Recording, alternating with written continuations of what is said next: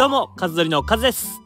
今回は、誰でも簡単に緩急がつく、逆足ロール反発ステップ解説していきたいと思います。この技のメリットは、技自体がシンプルで、ディフェンスのタイミングをずらせるので、足が遅くても抜けるという点です。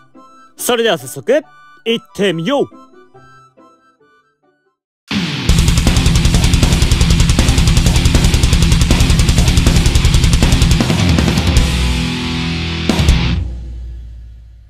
でまずは実際にどんな技か見ていただきたいと思います。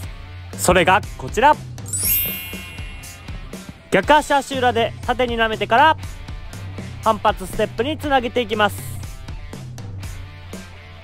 正面から見るより横から見た方が分かりやすいので横から見てみると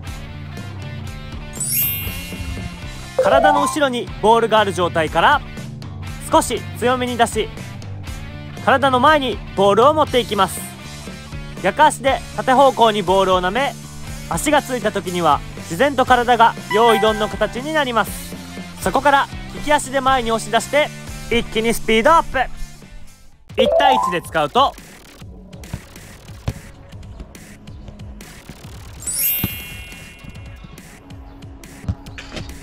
この技で重要なのは緩急。比較的ゆっくりのペースからほぼ止まった状態になり仕掛ける際急激に速くなります。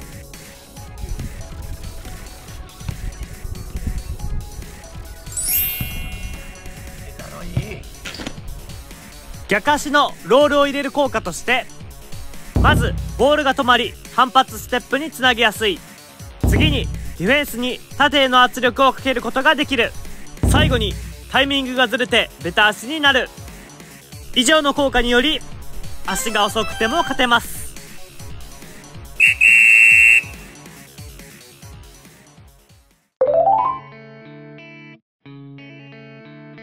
まずはゆっくり練習してみてください。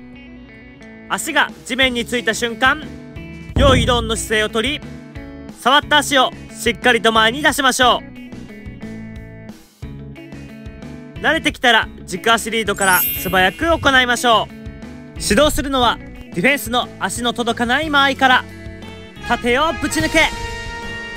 サッカーでもフットサルでも使える便利な技なのでぜひ試してみてください。この動画が参考になったらチャンネル登録高評価よろしくお願いします。ご視聴ありがとうございました。